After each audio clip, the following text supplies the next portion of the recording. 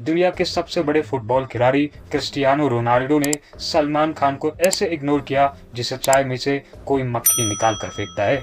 बॉलीवुड में सलमान खान का सिक्का चलता है, लगभग हर एक्टर उनके सामने झुकता है। इतने लंबे करियर में कोई ऐसा पैदा नहीं हुआ जो सलमान के सामने अपनी नज़रें भी उठा सके।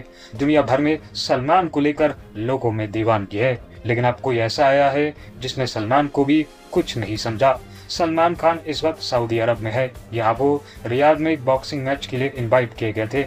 सलमान के साथ साथ दूसरी बड़ी हस्ती यहाँ जो पहुँची थी, वो है दुनिया के महान फुटबॉल प्लेयर रोनाल्डो।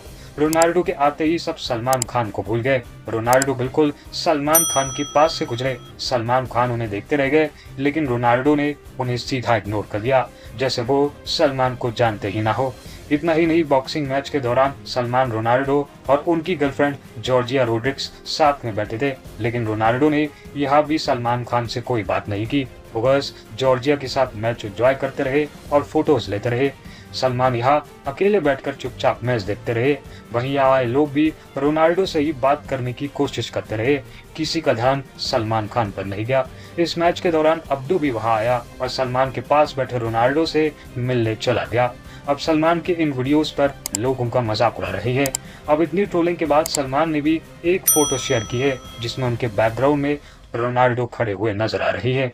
अब सलमान ने इस फ़ोटो के ज़रिए क्या जवाब देने की कोशिश की है, ये तो वही जाने, लेकिन सलमान के इस फ़ोटो पर भी लोग उनसे जमकर मज़े लेने लगे हैं।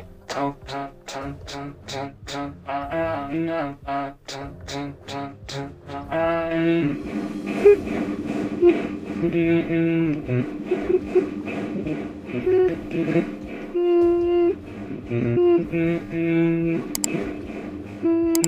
yeah.